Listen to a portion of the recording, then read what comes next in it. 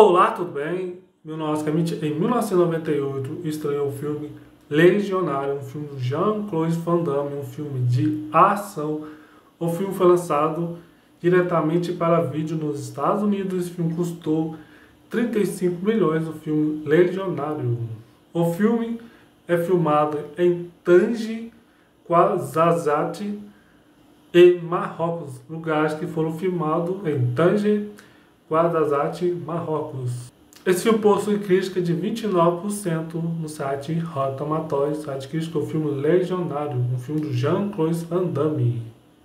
O filme é estrelado por Jean-Claude Van Damme como um boxeador da década de 1920 que vence uma luta após ter sido contratado por gangsters para perdê-la depois foge para se juntar à legião estrangeira francesa.